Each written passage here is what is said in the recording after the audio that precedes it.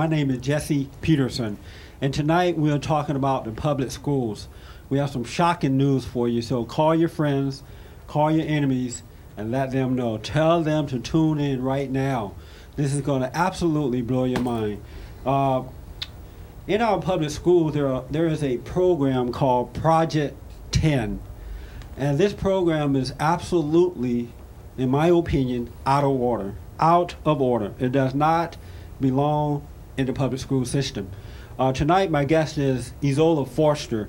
She is a school teacher at um, Bell High. Bell High. She's also the author of What's Right for All American. And I'd like for you to see this book here Up to what? right there. She's the author of that book. She's also the uh, founder of Americans for Family Values. And she's going to tell us tonight about this program, Project 10. So you do want to hear this, all right? So just sit and wait. You're going to be shocked. Ezola, welcome to the program. Thank you, Jesse, for having me on. Thank you for coming. Thank you. Also, we have a couple uh, students from uh, and a parent from this school as well. My first, my next guest is Martha Perez. Martha. That's right. All right. Thanks for being here, and Freddie Aquino. Oh, that's right. Right, Yeah. Freddie. Okay, and Mrs. Perez, who is the mother to Martha. Thank you guys for coming on tonight. I appreciate that. Uh, Ezola, first tell us a little bit about you and then we'll get into the school system because you you've been doing uh, a lot of work out there. A lot of people might may not be aware of. Well, I've been um, employed by Los Angeles Unified School District for about 32 years now. I started in 1963. And uh, in the late 70s, early 80s, I became politically active. And it stemmed from my filing complaints against the district for uh, misusing funds and mismanaging programs in uh, the public schools. In the, I think it was 1987, our organization, Americans for Family Values, became involved in the education issue by, at that time, fighting the implementation of what they called, they being the State Department of Education guidelines, they called it family guidelines, but it was the teaching of masturbation and homosexuality to our children from kindergarten through 12th grade. So we organized a uh, group from South Central Los Angeles, and we went to Sacramento, and we joined other uh, family-minded organizations to try to fight it to no avail. It was um, put into the system at that time, and it is just now becoming to uh, the focus that it is with the parents taking a look at it as to what's really there. And I really don't believe, uh, Jesse, that a lot of our parents know what really is going on in our public schools. They don't. You know, when I was preparing for the show, I spoke to parents and teachers from Crenshaw High, uh, Manual Arts, um, a couple other high schools. They did not know about the program at all. They had never heard of Project 10. Even some of the uh, instructors at the school was not aware of Project, Project 10. Why is that? How can it be there and they not know about it? Because I believe the vast majority of the teachers and the parents in particular would protest such a program in our public schools.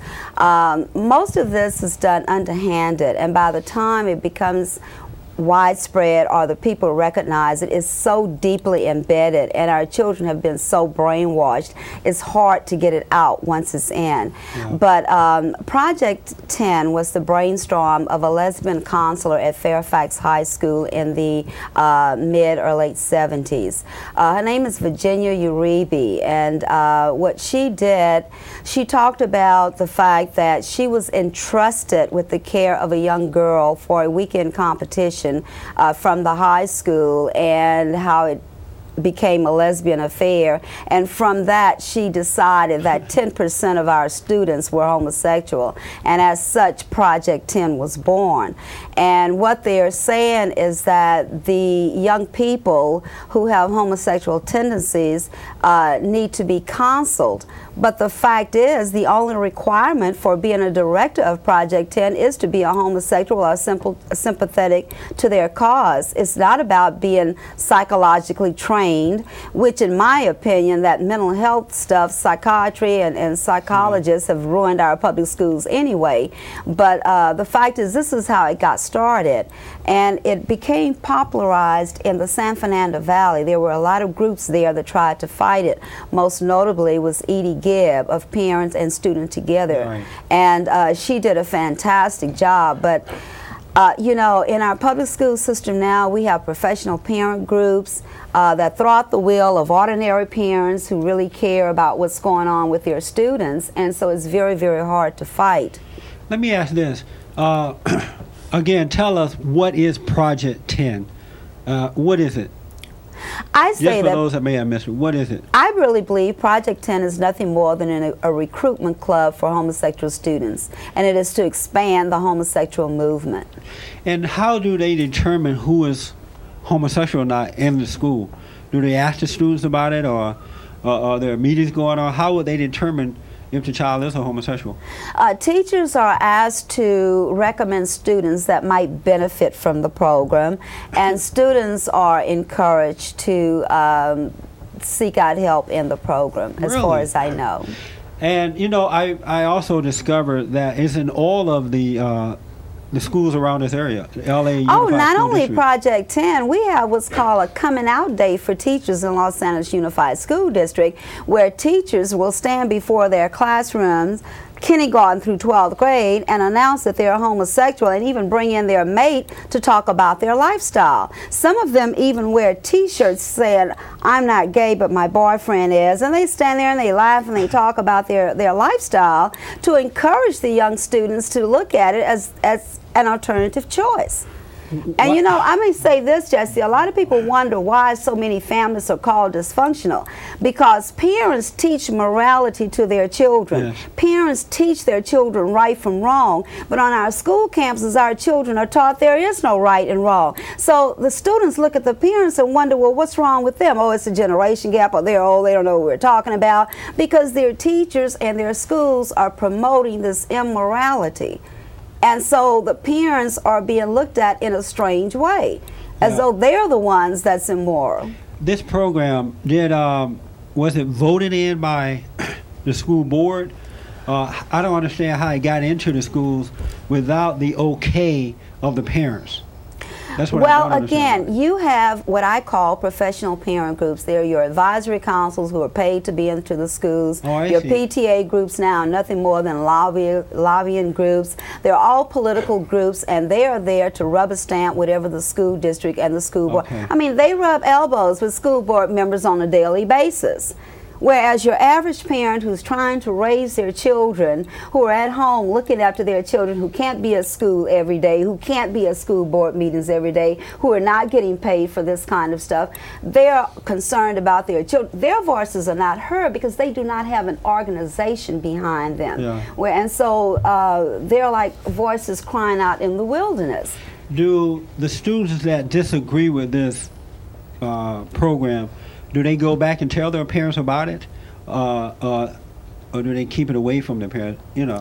Well, I'll have to let uh, maybe Martha answer to that as a young student, but I would like to say to you uh, how it be became an explosive issue at our school. do, yes. Uh, because I realize that there are some principals who really are of moral and high character, and they don't really push it. But at our particular school, um, we had a discussion in our classroom one day about Project 10. And so the director of Project 10 came into my room and confronted me in front of my students about comments I had made. And I said to him, Oh, sure, I said that. In fact, I said a lot more, and I just started telling him everything that I had said, that, Yeah. you know, how I felt about the program. And when he walked out of the room, the students applauded and they clapped. And they said, Thank you, Mrs. Foster. And I go, What do you mean? I said, Well, because in this guy's classroom, and our, we're trying to learn math, and here we are with pictures on his classroom wall of men hugging and women darn near hugging and kissing and men and everything. And so we can't concentrate. We don't want to look at all of that. And we've complained and nobody says anything. So I went to the principal and I brought the student's complaint to him and we went round and round, as you well know, Jesse, because Yes. I, I want to thank you publicly because um, the teachers union really does not represent teachers who want to do the right thing for students and parents. They really don't. And I would challenge them and I, I hope that they see this and I would love to challenge them on that remark. Yes. But the thing is that these students were crying out to somebody to speak up for them. And as you well know, I became the victim Yes. speaking out for Right. them. I was the one that was, but it was a victory because they the pictures did come down, Right. and the Right. students, and this is how um, these students became involved in it. Because I asked some of the students, and Martha here is so shy and so sweet. She's just one of those little students who does her work and doesn't get involved in anything. But she was so happy when she found it because it bothered her too. And and then when her mother sent the message to me thanking me for what I'd done, I just thought, you know, there are Yeah. so many parents that she represents. There are so many students that these young people represent.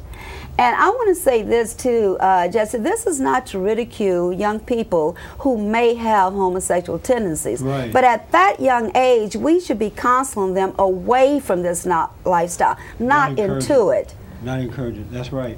Uh, what have what have you? I mean, how have you been able to maintain your job as a teacher and be so outspoken like this about these kinds of issues? Um, I- I believe that as long as you're saying what's right, there's strength behind you. And I thank you for being one of the strengths behind me, you and the Bond organization. I think that that is so very important. And as I say to, to, to ordinary parents, you do need organizations behind Yeah. you. But we, we need organizations who really are doing what's right for our people, not just promoting policies for the bureaucracy. Let me ask you this, and then we'll get to uh, the rest of our guests. Uh, the black politicians like Maxine Waters and, and Jesse Jackson and others, what are they doing about Project 10? Are they aware of it? Are they trying to get rid of it or encourage it? Do you know?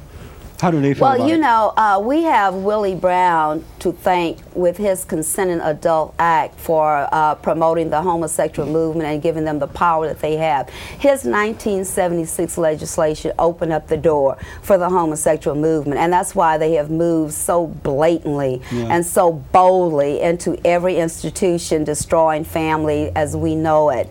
Um, and then you have uh, Maxine Waters, who actually brought the sex clinics into our public schools. Uh, for you know, uh, Watts Jordan High School is one of the uh, ones with the. Uh, I think there were two other in the school district that brought in the sex clinics, uh, which promote uh, abortions without parental consent, and all of these things that's really destructive to the parents. And they too, well, you know, I mean, Maxine was a one of the uh, not the Grand Marshal, but she rode in the Gay Pride Parade, the last one they had. So that tells you where, where our politicians stand. And here you had in 1987, when the Supreme Court was hearing the Georgia sodomy law, you had uh, Jesse Jackson standing on the steps of the United States Supreme Court with 500 leaders from the homosexual community demanding the right to sodomize each other. And sodomy is the number one cause of AIDS in America. so that tells you where our leadership is. The Reverend Jesse Jackson. Don't forget the Reverend. This is a, a preacher, remind you. Yes. Amazing. And sadly enough, none of our moral leaders challenge him.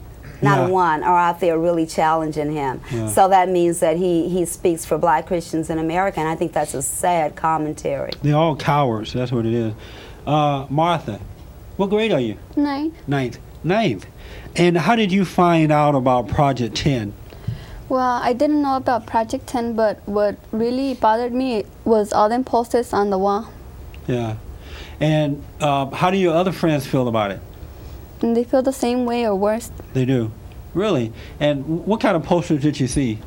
Um, men half naked and kissing, hugging, women doing the same thing. That's amazing. Ninth grade. That is absolutely amazing. Uh, Well, you see, Jesse, the thing is, you have within our teachers' union a gay and lesbian commission. You have on the school board a gay and lesbian committee. So uh, uh, they're all in. everywhere. I mean, how can, what can these parents do? But how did they get in there though? That's were we asleep when this was happening, or how did they get on these commissions? Under the Why civil rights banner, under the civil rights banner, they uh, cried that their civil rights were being uh, violated, and so as a result, uh, a lot of people, a lot of well-meaning, decent, decent people, uh, decided to look at it in a different way. Yeah. Uh, you know, the, the fact is, it's not that America has not been tolerant of the lifestyle. America has not been accepting of the lifestyle, and that's the difference. And so, what the homosexual movement is all about is making it an acceptable thing and making it no different from anything else. And I think that all of us should realize, uh, you know, we have a wide spectrum of society that has had homosexual experiences. So we don't want to, to just put a general brush over Yeah. all of them as being radical homosexuals because you've had some uh, people who are heterosexual oriented. But through particular circumstances, prison, uh, adolescent experimentation, abuse, or what have you, Yeah. have had a, a, a homosexual experience. Uh, so, uh, but then, and then you have those who are not interested sexually in the opposite sex, and not even in the same sex. They're just not interested. But then you have the radical ones who will, through promiscuous active actions, will promote it and will make it a part of And those are the ones that seem to get away with it too. They seem to get what they want by being radical and loud and pushy. It seems as though America is so weak now, they don't really fight against these people in the manner that they should.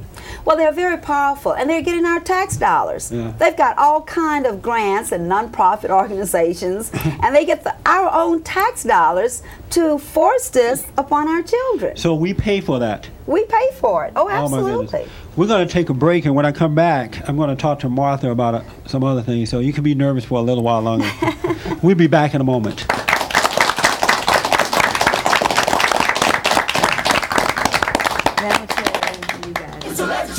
Bond, the brotherhood organization of a new destiny. Rebuilding the family by rebuilding the man. For more information, call us toll free 1 800 411 BOND. That's 1 800 411 B O N D.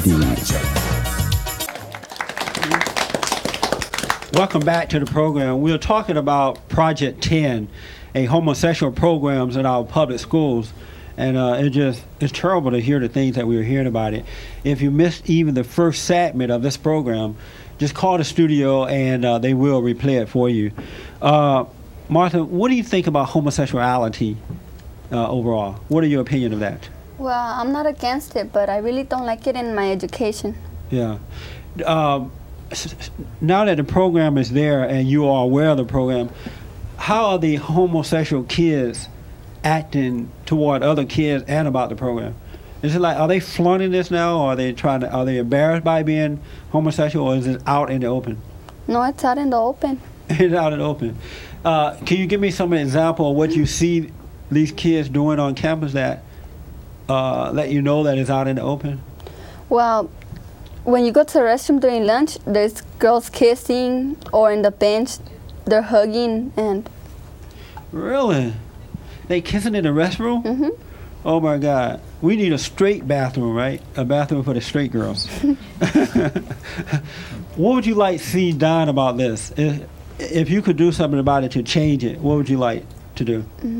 well, don't have Project 10. Yeah. Are you going to work on getting it out? Can it be taken out, you know? Well, it it can be taken out, but it would be a massive effort on the part of the parents, uh, and it would take a lot of publicity because uh, just going to the school board to speak um, is not enough. And as I said, there's uh, so many. Um, so much organized opposition that it would have to be made um, something that a media event in which the parents would just have to do demand. It sounds like it'd be a come good fight, though. It sounds like something It worth would, fighting you know, for. it, it would for. be a good fight. Now, I would say this to you though, uh, Jesse. I we're at a point now where we're saying, okay, we have to accept all of these things. But my complaint is, let's give the opposing viewpoint to the kids. I have some great referrals for these kids uh, to help them to get out of this lifestyle. And they don't give statistics, you know, because uh, there's all kind of statistics out there to show that homosexuals, by the nature of what they do, suffer more illnesses. Yeah. And and and that is the the, the impact on society. When you look at hepatitis B and and, and the, uh, the- all of these other AIDS. illnesses that oh well AIDS even before AIDS though, and and so uh, but these are the things that's not told to our children. The psychological, the biological effect. The, I mean, it's just so much to be told to them. But if they're going to go into a classroom to have meetings and just see pictures that that are erotic and enticing. How will they ever Yeah. denounce this kind of thing? Amazing. Did you tell your mom, your parents about that as soon as you discovered that? Yes, I told her about every poster in class, and she told me to go to the principal, but I told Miss Foster, and she said that um, nothing could be done. Really? Yeah, but um, thanks to her, they put them down. All right. Mrs. Perez, what was your, uh, ¿Qué era su? what did you think when you heard about this uh, program? ¿Qué pensó usted cuando, cuando Marta le dijo de esas fotos? Se imagina, pues, no sé, me dio mucho... Me sorprendí de primero porque pues surprised. Es Oh, un pictures salón de clases, ¿verdad? Para que ella me venga, no es ni salón de... It's a math class. It's No es salón de que enseñen algo del cuerpo, nada de it's eso. not a room could show es salón de the matemáticas. Yeah. This particular class is a history class, right? Is it Math class. Math Math class. Yeah, I, I, I went there. Isola told me about it. I went to the class to see it for myself. And I was just shocked to see in a math class on the bulletin board all these homosexual pictures and men hugging men and, and stuff like that. It didn't relate to the class at all. Actually, uh, Jesse, the worst ones had come down before you got there. That's amazing. Yes. Absolutely. Um, Mrs. Perez, are other parents aware of this, and did did you tell them about it after you found out about it? And if so, would they like to do something about it? Usted y piensa que otros padres quisieran hacer algo de esto. Pues yo pienso que sí. Well, she thinks, yeah. Y he estado hablando así con padres que tienen hijos ya en la escuela y She's que van a ir a la escuela y, That has students in that school. y dicen, nos decían que estaba mal, ¿verdad? Pues, Our own parents said that it was bad. They said it was bad. Do they feel helpless in the situations as though they can't do anything about it? Ellos se sienten sin, como sin ayuda, sin poder hacer nada. No, ahora ya no, porque gracias a la maestra aquí presente Well, not, not now. Um, thanks to Miss Foster. Good. se logró el propósito que quitaran todas las, las fotos que tenían ahí en la pared. Thanks to Miss Foster, they took all those pictures. Are they going to put them back, or just because come June they're going to have homosexual or wellness month right. in the schools? Will they put them back at that time, or is this like a temporary taking down thing or what? I'm not really sure, um, uh, Jesse, how they're going to do this. Uh, we have a school board member, uh, Jeff Horton, who, um, after being elected to the school board, announced his homosexuality, and then he and his lover were pictured on the front page of the Metro section of the Los Angeles Times. And um, with him being on the board, and with Jackie Goldberg, city council person who, as an avowed uh, a lesbian, um, you know, it's going to take the public to demand changes because these legislatures are not going to do it. Uh, and you have, as I said earlier, uh, professional parent groups so that when parents complain, like Ms. Perez or anyone else who might call the school, they are then directed to the parent office. Parents have an office on campus. And so that's so the parent can handle it. And as you know, I mean, it took us almost um, well over a month to Yeah. fight to get these pictures down. And and and it's, the thing is, I think it was when I when I threatened to put up a picture of Jesus Christ that they decided, well, we better not, uh, you know, get too crazy.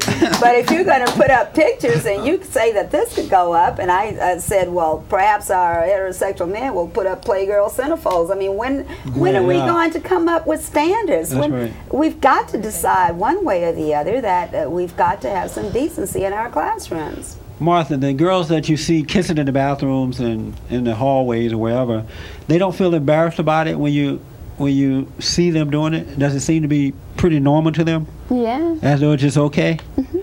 Really, uh, the kids that are heterosexual, do they ever say anything to them about it, or just to themselves and go along with it? Mm, well, they talk to their friends and they just get in, a little group in lunch. That is absolutely amazing. Uh, we're coming to the end of this program. We will be doing a uh, part two series on this. Uh, Ezola, what can the people do, the, the parents? What can be done about this? I think they need to uh, flood the school board offices and they need to contact their state legislature uh, also to remove these kind because as I said earlier, it is in the guidelines from our state Department of Education. So it's come all the way from the top.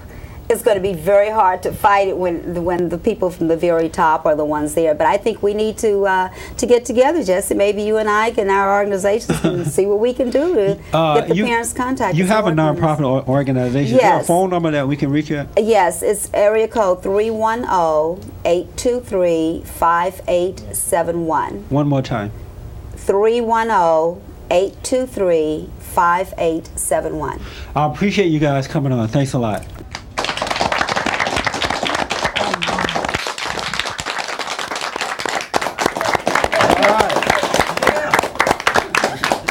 Okay, welcome to the program. My name is Jesse Peterson, and we're doing a two part series on Project 10 in the Los Angeles Unified School District.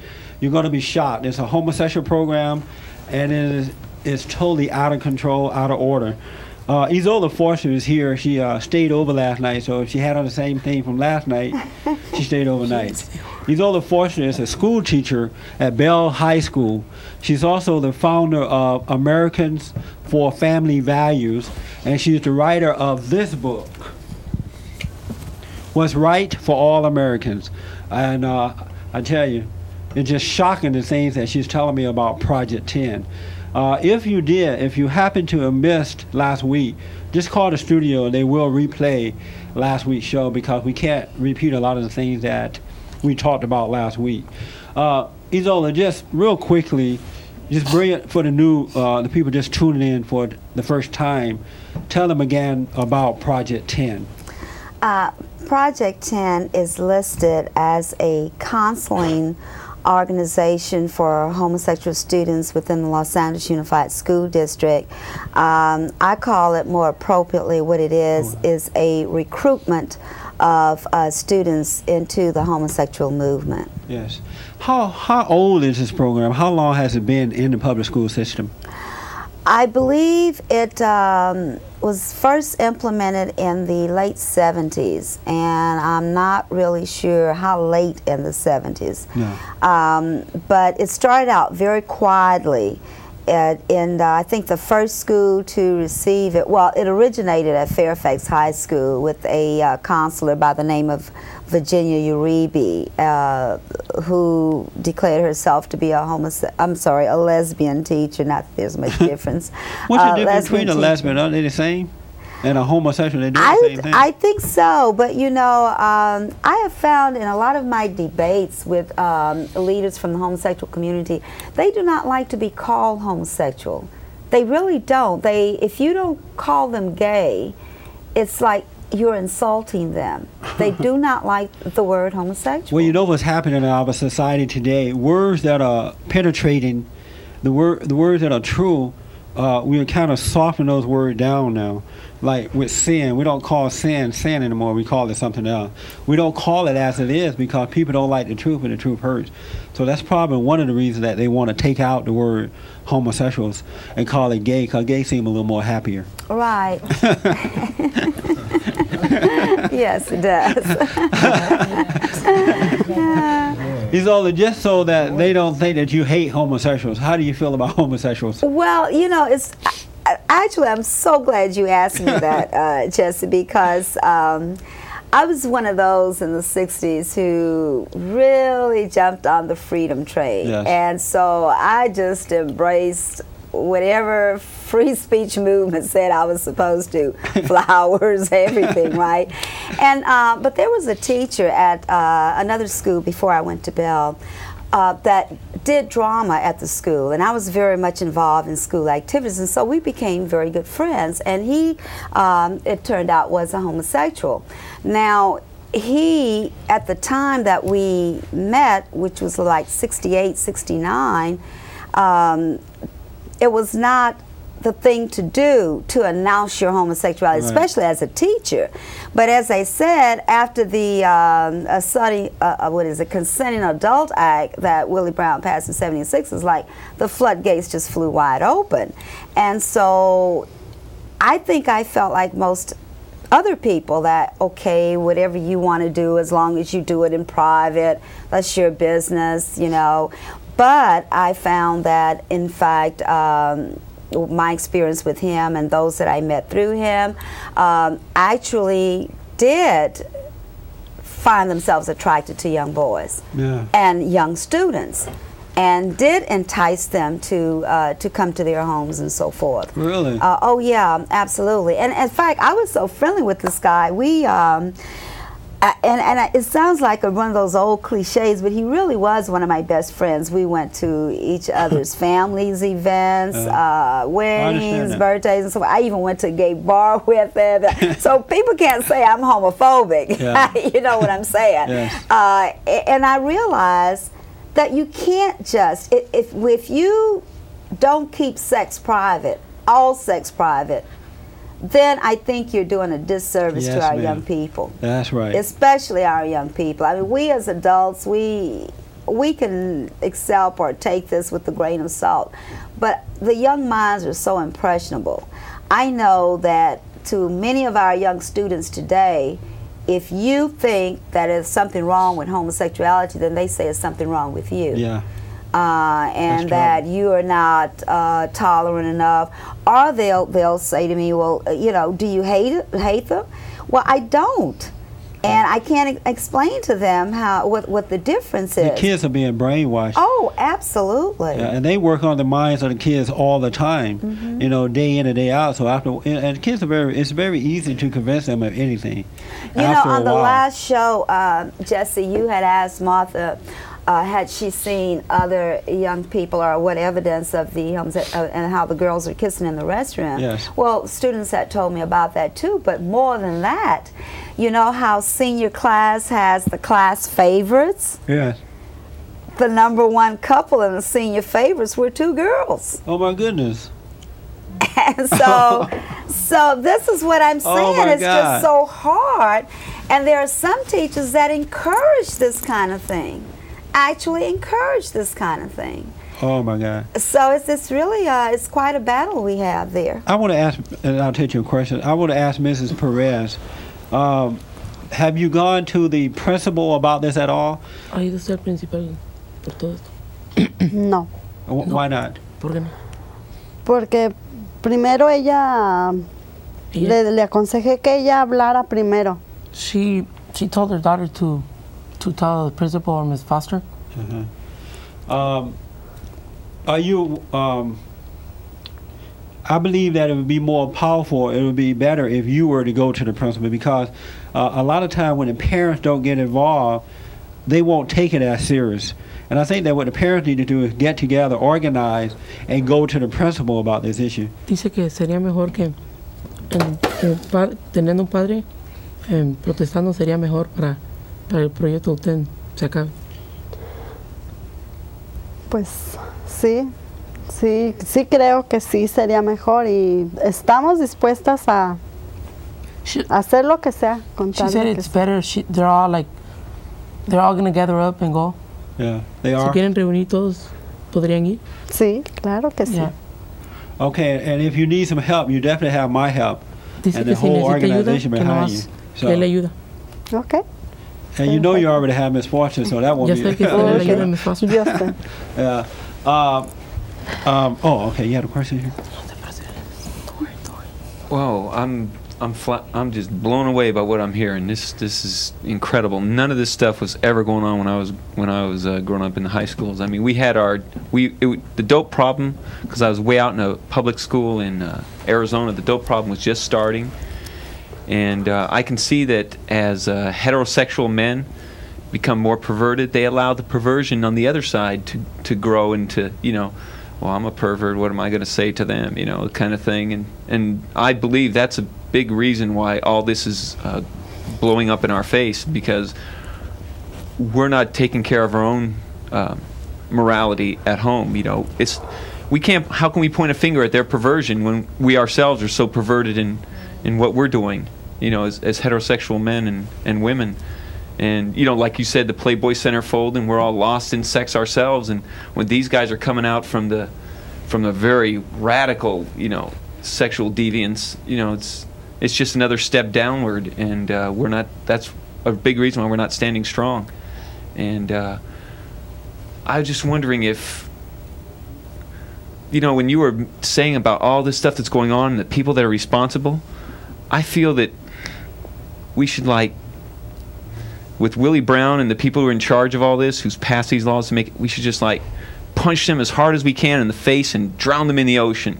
I think that's a, I think that's a perfect, you know, because the good book says that if, if someone, if someone like this tries to destroy our kids, they should have a what is it something tied around their neck and it better for them if they had it, something tied around their neck and thrown in the ocean and that that urge to to do that came into me and I I know now where that guy got that scripture from when he was thinking about these the way these people come on because it's different from the homosexuals who are caught into what they're doing and really you know don't, don't really realize what they're doing and the radical ones who do know the sickness and, and how bad it is. They've seen both sides. They, they do know what they're doing and they're doing this to destroy America for their own power purposes or whatever their, their motive is and Well, uh, we've recently seen where uh, Willie Brown, after becoming the uh, mayor of uh, San Francisco, held a mass wedding with uh, homosexuals.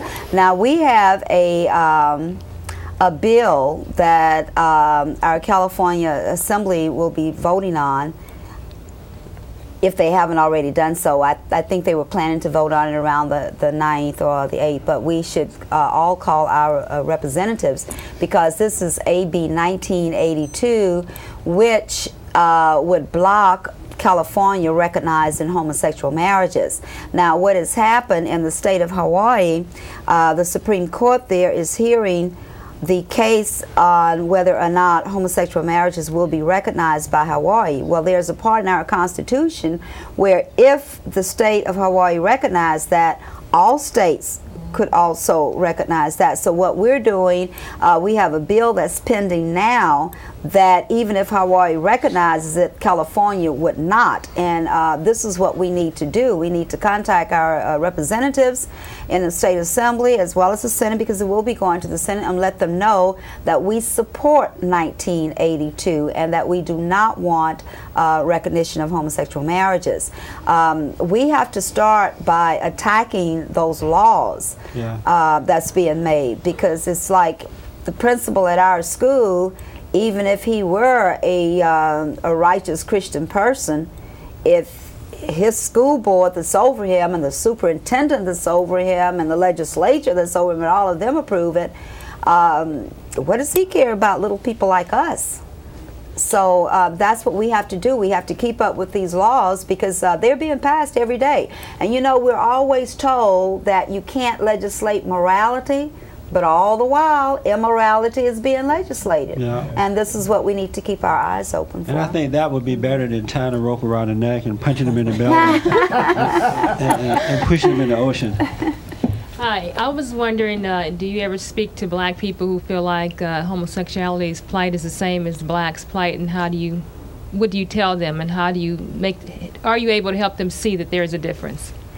Uh, actually, I have not spoken to groups per se, but when I do uh, radio or television call in shows, uh, and that subject comes up, I do have some blacks who do equate the homosexual movement with the civil rights movement. And I say to them that uh, despite what the leaders of the homosexual community say, there is no scientific or any other evidence to indicate that people are born homosexual. But you are born with your skin color, and, and that there's no equation between how or what you have sex with as, com- as opposed to what race you are. Like you remember, people are saying they remember they've always been homosexual, but I don't understand how people don't remember what happened when they were two years old, four years old, five years old. So a lot of things happen to people that that, that they don't remember, and so they may not have been homosexual at that time before that. So I don't see where it has anything to do with your genetic makeup either. Most of your renowned psychiatrists uh, dispute the fact that uh, homosexuals are born, that it is a learned behavior. There's a lot of pressure on psychiatrists to say that it's okay though now. Oh, well, listen, thanks to our psychiatrists and our psychologists, that's why homosexual is so acceptable now. And I say all the time that any psychiatrist that says there's nothing wrong with homosexuality should have his head examined. Oh man, he's probably a homosexual himself or herself. Uh, Martha, what do you want to do about this? Mm, about what? About this thing, this Project 10? Do you want to get it out? Um, certainly. Okay, you want us to organize and fight it? Yeah. Yeah, it, it has to start somewhere. And I think Bell High School is a good place to start. I think that you have a lot of nerve, though. Ninth grade, that takes a lot of courage to do that. I admire that. That's Thank good. Um, do your um, have you ever had any homosexual friends or lesbian friends, whatever you call them? No, Yourself? not really. Not really. No, not. Uh, I'm not interested. no. Good. Keep it that way. Um, how, have you ever guys have had open discussion about homosexuality in any of your classes or anything like that? No, not. You just entered junior high school, though. So I mean high school. So you haven't been there that long yet, Yeah. right? Okay. Um, John, you have you should have. A, Well, what I what I would like to yeah, what I would like to mention is that uh, what uh, uh, parents or people in overall are facing is that we are uh, uh, there's too much apathy.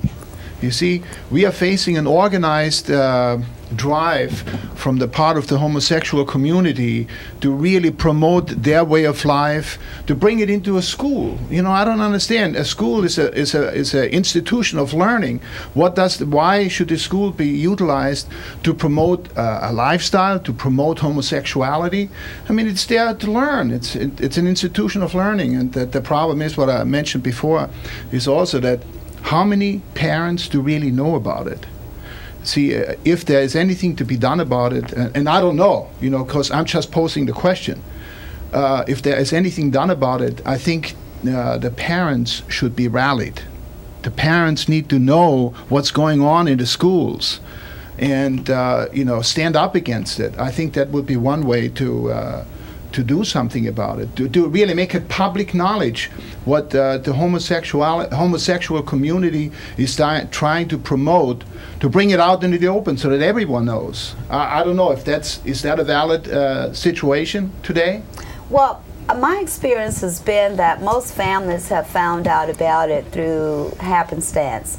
Uh, there have been parents who have gone to the school, maybe had, for some reason or the other, had to go to the health office, maybe to pick up a child or what have you, and they'll notice the posters. And then they'll call us and ask us, well, what about this? But in terms of there being a lot of publicity about it, um, I don't know that there is. I think that many schools are really embarrassed about it. And I believe that a lot of them really try not to promote it.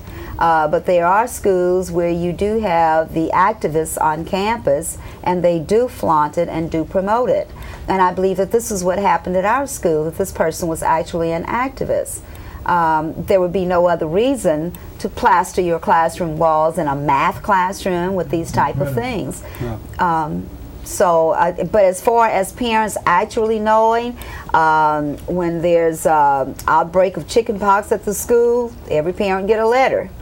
When there's an outbreak uh, or there's a new program that the school want them to know about, testing and so forth, every parent get a letter. But on this, it may or may not be casually mentioned, maybe in a newsletter that's published. I haven't seen it yet, published in a newsletter.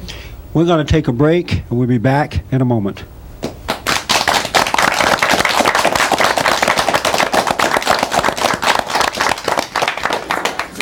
Bond, the Brotherhood organization of a new destiny. Rebuilding the family by rebuilding the man. For more information, call us toll free 1 800 411 BOND. That's 1 800 411 B O N D.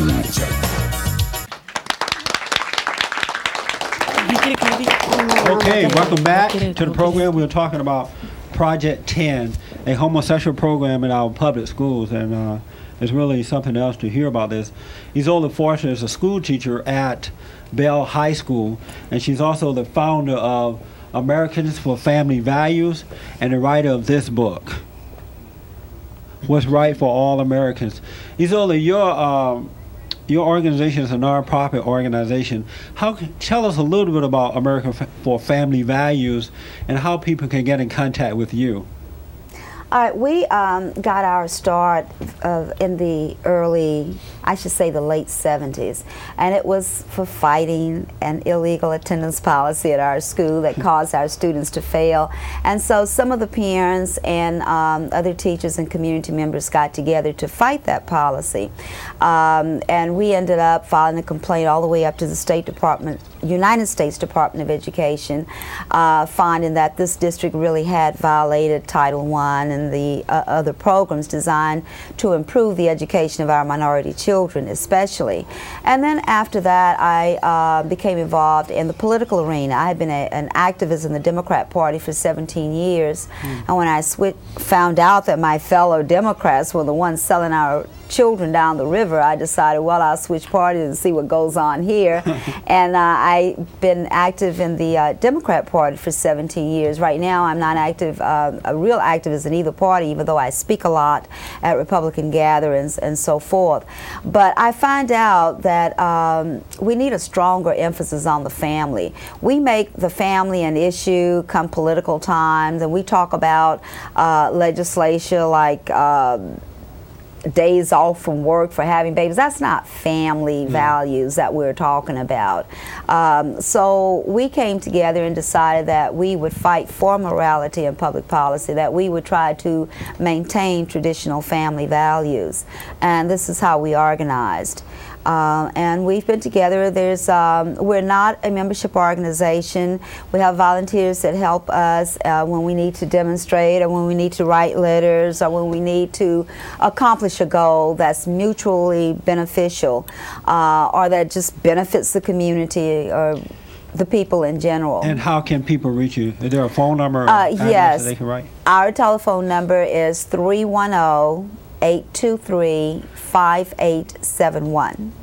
That's 310 823 5871. And anything that you need to know about America for Family Values, Ezola Foster, just call that number and uh, she can help you on that. Ezola, I noticed the school board members of the school board and the uh, parent, uh, the PTA, are they voted in now? The PTA, how, how do they choose parents to be a part of the PTA? If a parent, like Uh, Mrs. Perez, if, can she become a part of that?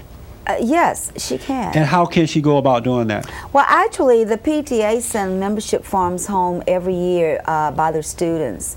Uh, home to the parents uh, for that. There's also a parent advisory councils. Now, following the uh, 1965 uh, Watts riots, uh, the Elementary and Secondary Education Act was passed, and the idea was to bring more minority parents into the community. And so this is where your advisory councils came about. And then uh, it was discovered that parents were actually paid to be in that program. Um, so uh, PTA, advisory council, they're so all it- kind it's of just a matter of filling out a form. It's just a matter of filling out a form. But but you see, the thing is that parents, uh, like Mrs. Perez and, and, and parents who really care, they really need to get together with like-minded parents Yeah. because the leaders in the PTA, it's it's almost like fighting another bureaucracy. And and I realize that, but it seems as though if they began to get in there, parents who are against all this stuff, that is a beginning. Because Oh, of- absolutely. you know, after a while, they can kind of make decisions as well. Are you, Mrs. Perez, are you familiar with the uh, PTA? ¿Usted está, conoce en PTA? Hmm. No. No, pues no. No. No. Uh, so parents don't go to PTA meetings and things like that. Uh, do you ever get notice? Oh, I just not if you're not That's a good with question. I was I was hoping you would ask her that. Has she gotten. Do, any information have you ever gotten any notice or anything about PTA meetings? Hablando algo acerca de PTA. No. Nothing. No. Uh, uh, Martha, uh, your teachers don't give you any notice about the uh, upcoming PTA meetings for the parents? Hmm. No. No. Are you familiar with the PTA? I've heard about it. You heard about it, but you don't really know what it's all about? No. Really? Wow. It's a well kept secret on a lot of campuses. So if the kids are not getting the notice about it, so uh, people like Mrs. Perez can never be a part of it. Well, if she the never schoo- received any The schools have a parent newsletter that is mailed out. They have what's called a cluster office that sends another parent newsletter out. Uh, so they do send newsletters out, but new, these are newsletters on the wonderful things that are happening at the school. It does not include controversial issues. And if parents have a problem at the school on simple matters, uh, just dress codes or immoral acts like this and so forth, those kind of things are not included in newsletters. And when they try to address those kind of issues, that's when uh, they are sent from one office to the other on a wild goose chase. principals no, no longer have power in the schools. I was surprised to discover that. I remember when I was growing up, the principal was the man, you know. Whatever he had authority in schools, but now he doesn't have any authority. Um, He like most companies are being encouraged to do, the school is being run by committee. So you have a committee here and a committee there that has to decide. So the buck never stops any place. Wow. It continues to flow out there. That's amazing. And our tax dollars are paying for this. oh yeah. That's, that really blows my mind. Uh, Ezola, we're coming to the end of this program again. Uh, a couple of things I really want to make clear to the parents. What can they do about it? Uh, where should they begin to do something? I mean, what is the first step to deal with this issue? The, for those parents that don't agree with it. Okay, the, the first step is to find like minded parents whose, whose children are having the same problems and to get together. If it only takes one, then that one will do it. Yes. But if they can get together and go in and first start with the principal, and then if they don't get any um, headway there, then they can move on and, and go on up a little bit higher. But their best bet is to get an organized group behind them that could bring this to the attention of the media because the one thing this district does not want is to be exposed for its wrongdoings. Yes. Again, your phone number for America for Fam- Family Values. 310 823 5871. Okay. Uh, we're out of time again. Uh, I think that we're doing a part three series on this. And when I come back, I want to talk to them about the fathers. Uh, are they involved with the kids at school? And how much does that have to do with what's happening in our public schools? I'll see you next Monday night.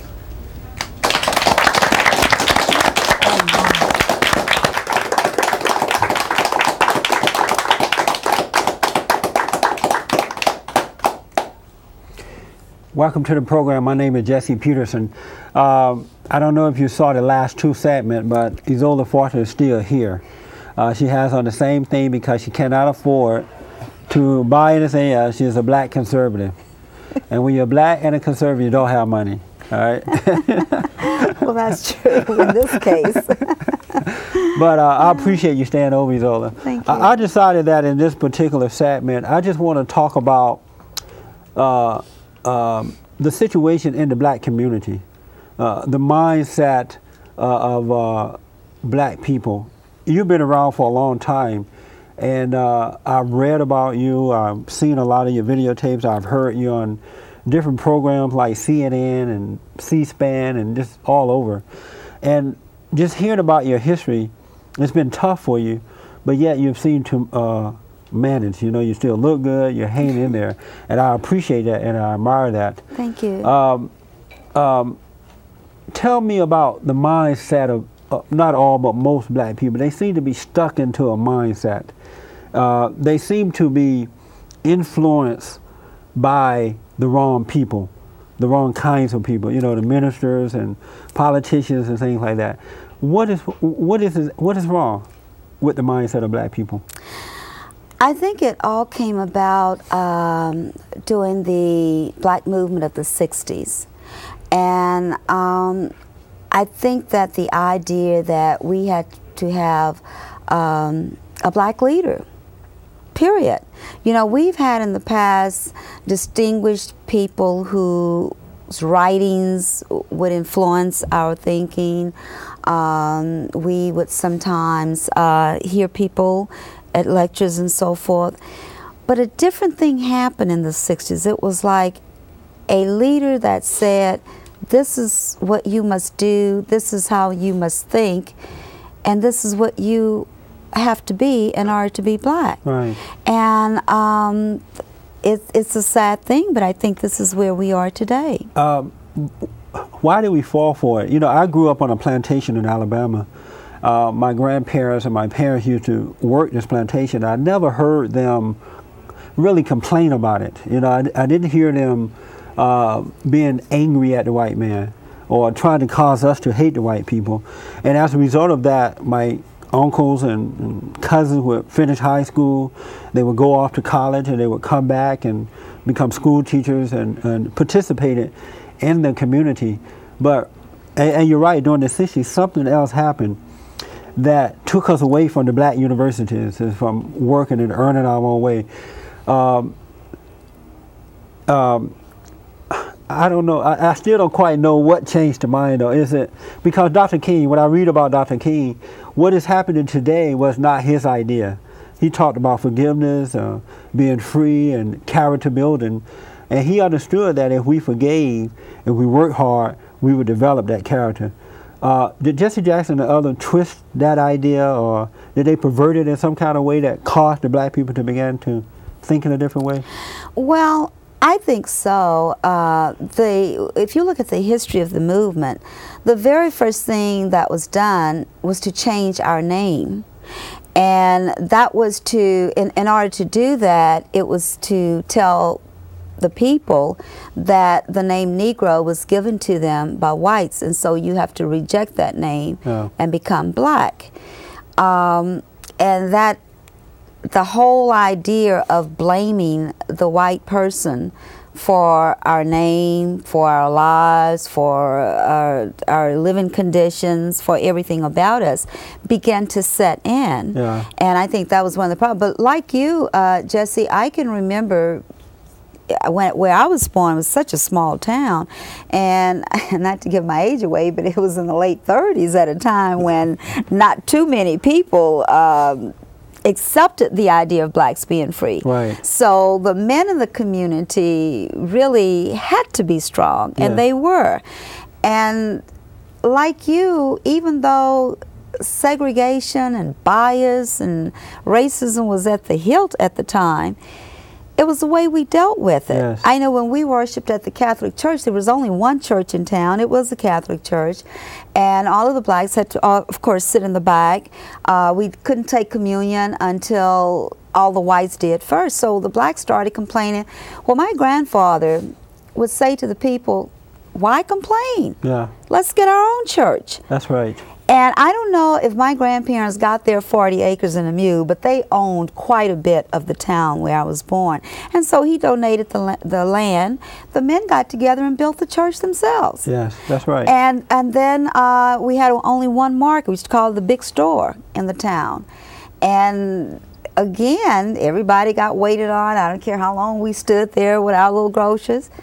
And then the men got together in the town and built a little grocery store. And before you know it, everybody in town was coming to our grocery store Yep. because it was not only quality, but you got served quicker because you didn't have to sell everything else that the big store was selling. So we looked at it as a challenge, as competition. And we moved on and we Yeah. bettered our lives. I can remember in the 40s and 50s in black communities, we had thriving commercial strips. Yeah. We could go um, shopping for clothes, for groceries, hardware store, go watch a movie, go sit in a jazz club without ever leaving our community. You know, I was talking to the director of my uh, Big Brother program, and he reminded me that when we were growing up, he was in Louisiana and I was in Alabama, but they had for white only water fountains, and even that didn't seem to bother me. You know, I, I didn't. I knew.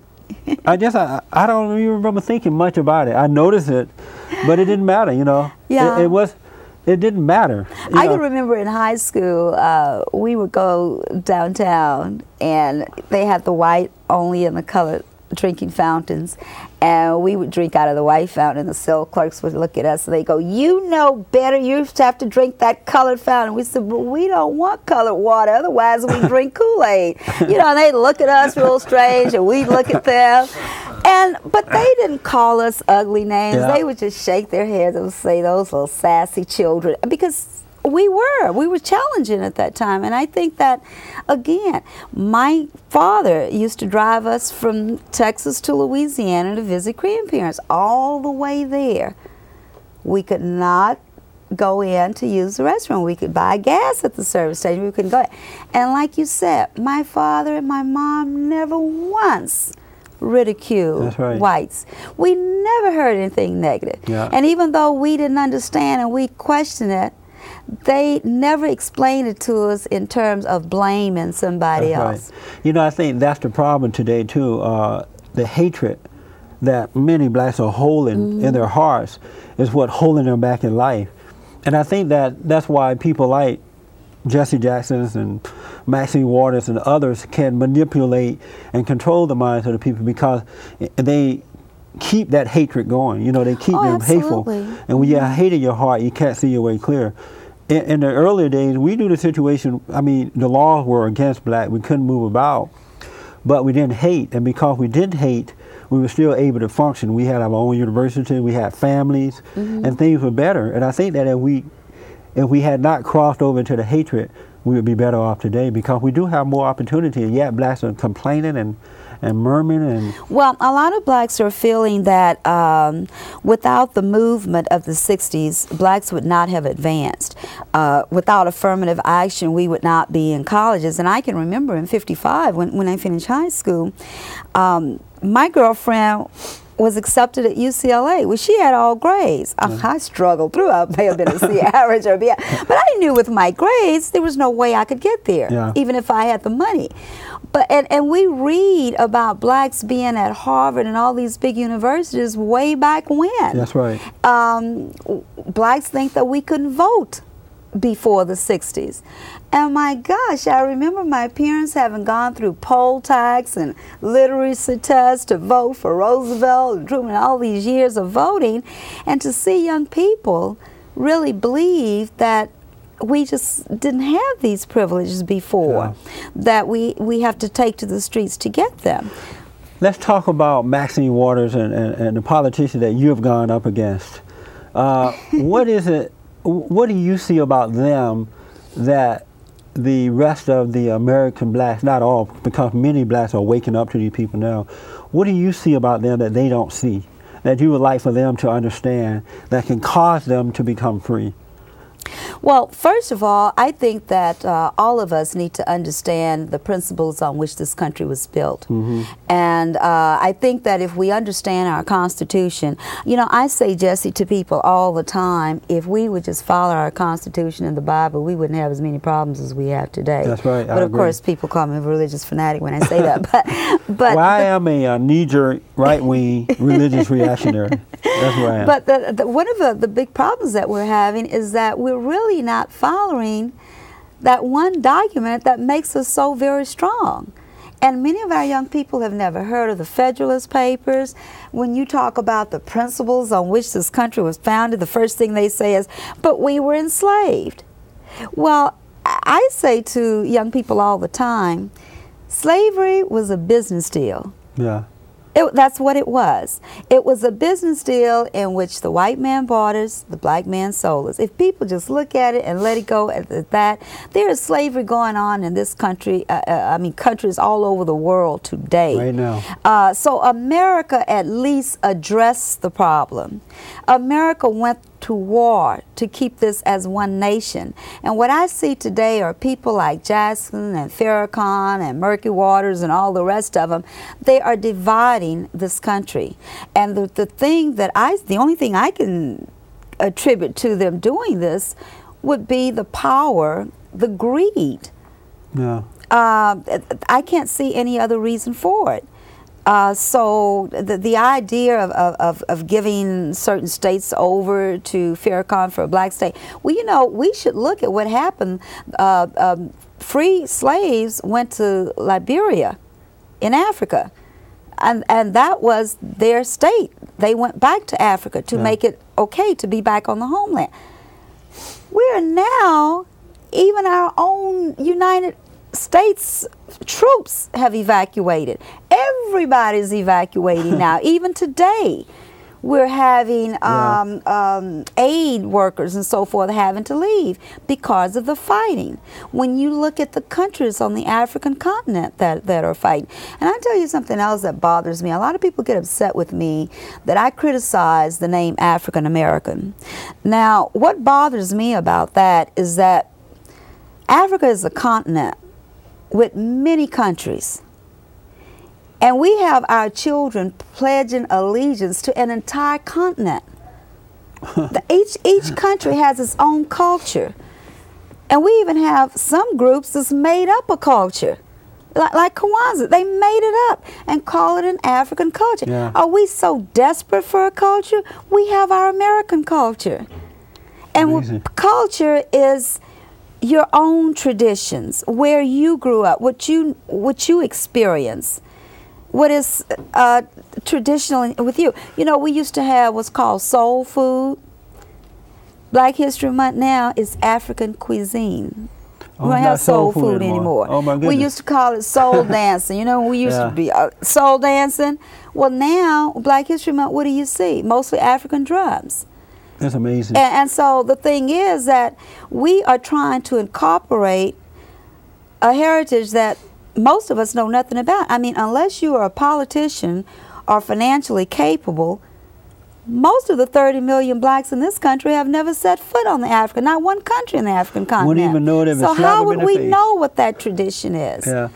Um, and, and another thing I noticed about that too, people like the the black politicians, they are they are complaining about America, America, and they are keeping us uh, many blacks angry about it. But yeah, these people are getting well. They're doing very well financially. Their children are doing well. you know, they, I mean, they're living in big homes and complaining Gated about it. communities, yes. But yet, the rest of black America won't even stand back and look at that. Now, they don't even think, well, if, white, if the white man is holding me back, how is that these people are getting so educated? How are they getting so wealthy? Why can't they look at that? Why don't they kind of just pull back and look at just that little simple thing? Well, when you look at all of the publications that come into our community, Ebony and Jet, Sentinel, all of, all of them, they all give the same message. Yeah. How many conservatives do you hear on the airwaves in the black community? I haven't heard one. That's right. And how many conservatives are written about in black papers? You don't see it, right. you know and you you may read of people like walter williams and thomas sowell or uh, the richardsons and and, and uh, you know even with us we're published all across the country Yeah. but do you think that our local uh, media would have too. us That's right. and and that's because they don't want the community to hear the opposing viewpoint You're to have absolutely right. dialogue with us It's a shame. We need to take a break. When I come back, I want to talk about your organization, and I want to know how did you, what had kept you going this long, and what are you hoping for? All right, we're going to take a break and be back in a moment.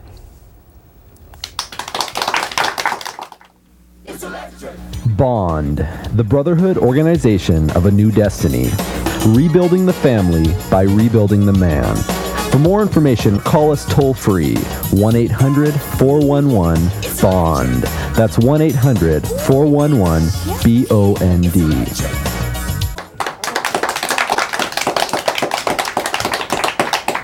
I'm talking to Ezola Foster today, and she's from Americans for Family Values. She also has a book that uh, she did on what's right for all Americans. And she has a, her organization is nonprofit. If you'd like to know more about her organization, her newsletter, anything about her, feel free to call her at 310-823-5871 310 823 5871. Right All right, and it's uh, Americans. What's right for Amer- all Americans? All right? Americans, All right. Good. good. Uh, Ezola, let's talk quickly about uh, what it's like to be a black conservative. Uh, I know for me, uh, the last seven years I've become what they call a black conservative, and I am a Republican, and it has been. Uh, I've gone. I have endured more than I've ever had to endure my whole life. Uh, my telephone's tapped. Uh, call a Uncle Tom nigger, sellout. Um, uh, because I live right and I work hard and I think with a clear mind. I think like white people. uh, just all kind of stuff. And this is only the past seven years. You've been doing this for what seemed like a lifetime. How have you endured that? Tell us about your house getting burned or blown up in Watts. Did you know her house got blown? She almost they burned her house down. Well, actually, that was a blessing because that moved me to the other side of town. It was very nice out there. uh, well, actually, I think it all started um, when I went into the Watts community in 1960. Well, I moved into South Central in 61, and I started working at Jordan High School in uh, the Watts community in 63.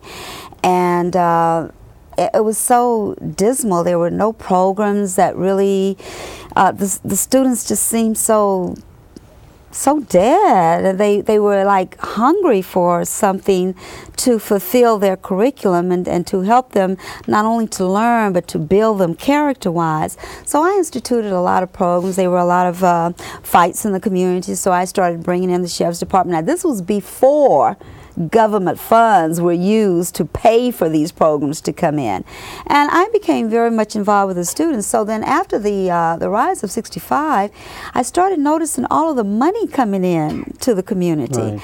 And especially because Jordan was used as a blueprint for special funds for schools all across the nation. And I was aware of the programs there. And as I saw the money coming in and I began to notice the abuse and and it was almost like a deliberate attempt not to educate our children. Yeah. And I began to notice this and then I began to, as I said, file complaints and one thing led to another and um, I went to all of the elected Democrat officials. I knew them. I worked for them. I got a plaque working for Tom Bradley to put him in office. So, you know, I went to all of them. And then I realized they know the problem. I'm talking to them like they really don't know what's going on, but they all knew. Religious leaders, all of them. Yeah. Now, again, Jordan High School is rich in history because it is Jordan High School that started busing in Los Angeles with the 1963 Crawford case. And so it just went on and on and on from there. And then uh, in late 70s, where they instituted this, this um, illegal attendance policy, I had just got my master's in education, so I knew the law and I knew it was illegal and I knew they couldn't do it. No other school in the district did they do this. And as a result, I began to speak out publicly and I started writing and now I'm writing for a magazine nationally. I'm a columnist now. Um, as a result, I've been called a political commentator because I, by being involved in both parties, Yeah. by being a delegate, by um, understanding behind the scenes politicking and so forth. So I've seen a lot, and it was a great experience. Um, what keeps me going?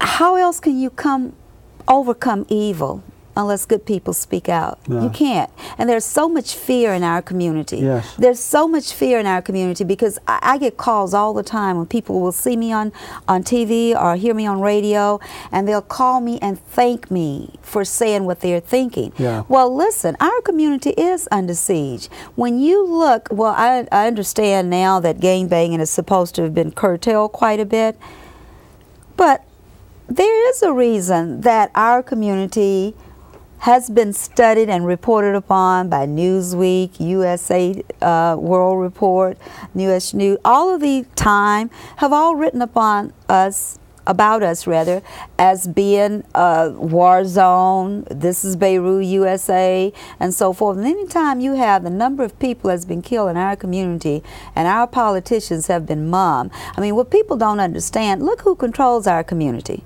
Just look. Yeah. And for the years that the gangsters had our community under siege, you had the most powerful politician in the state of California, the most powerful. Some say even more than the governor, Willie Brown. There was not a law that were passed unless he wanted it to be passed. That's power. And then you have Maxine Waters, who was over that district. You have Diane Watson, who's over the district. You had Mayor Bradley, who was the mayor all of those years over the district. You had Gilbert Lindsay, who was called the emperor. He had so much power and had been on for so long. So you look at all of these powerful politicians over this one area, and it's the worst area in the state. Yeah. Now, I mean, people should think about that. What's the point? I fought in the civil rights movement to give political power to blacks, thinking that's going to help us. And I'm looking at all these powerful blacks in a community where I am, Yeah. and we can't even keep clean streets. You can't even get the streets clean. You know, because of time, uh, your impression of the black ministers, I, for the most part, think that all that they all wicked, and that I'm sure maybe there's one or two somewhere. I haven't seen them, but there's always an exception to the rule. But I think that they are wicked and they are taking advantage of the community as well. What is your opinion of the black ministers? You know, when I first learned that uh, the LA Unified School District was going to have coming out day for teachers and on all of these other issues, we got in touch with the most prominent ministers in this city, the most prominent and they all refused to take a stand on this issue. And I think that the code of silence among our clergy, and by them just allowing uh, Jesse Jackson to speak for all Christians, is just, um, I think, is tragic. Yeah. I think it's real tragic for, for our community. Um, the only way that you had Farrakhan getting so many uh, men out to his march was because our Christian ministers allow them on, in their pulpit to lure these innocent, decent Yeah. young men there. And so, uh, you know, how can a, a Christian minister who, who is going to preach the Bible based on Jesus Christ support Farrakhan who doesn't believe anything about Jesus Christ, could care less about it, Jesus Teaches Christ. hatred as well. Uh, well, of course he Yeah. teaches hatred, but what I'm saying, you're talking about religious leaders Yeah. who are allowing their pulpits to be used for political reasons. Let me ask this. Um, what is your impression? Uh, we know that the family is broken down, it's like nearly destroyed. What is your impression of black men? I mean, for the most, not all, but many that are kind of weak and out there and can't seem to get it together. Why do you think that is? But I, I mean, I, why do you think that is? Well, as I said earlier, my background is strong men Right. in my life, from my grandfather, my father, my brothers, stepfather. That's right. Uh, I've always been very fortunate to have strong men in my life.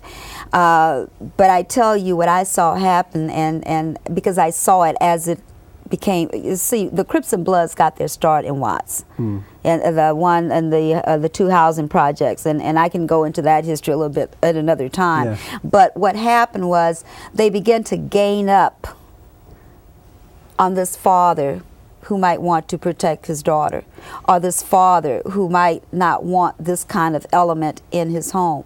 And they and, and, and there was no one to stand up with the man. Yeah. Because you have your politicians standing up with the gangsters, you have your ministers not saying very much except that we should coddle them and remember that they're somebody's son. Well look, those little innocent children that they're shooting in their living rooms are some they're somebody's Yeah. daughters and sons too and so what it is and they've been glorified so so the average man it, it, I, gee it's, it's so hard he, he, he has to stand alone Uh, one minute left. I'm getting my signature over there. Ezola, what they, what can they do? What can Black Americans do to get out of this, real quickly? I mean, is it just a simple matter of waking up and seeing what's happening and walking away from it, or what can they do?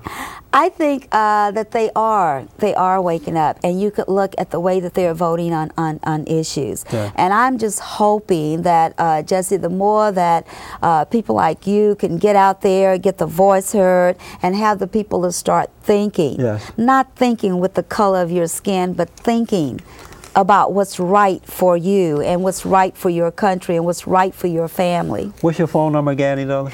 310-823-5871. Ezola Foster is the founder of uh, um, uh, Americans for Family Values, and her organization is open to everybody in this country and in the world. So don't just feel you have to be black. I appreciate you coming on. Thank you for having me on, and Jesse. uh, we're gonna have Pleasure. to do some more stuff. We gotta continue to fight. Keep up the fight. All right. Thank you so much. so much. Thank you. All right. Goodbye. Thank you, sir.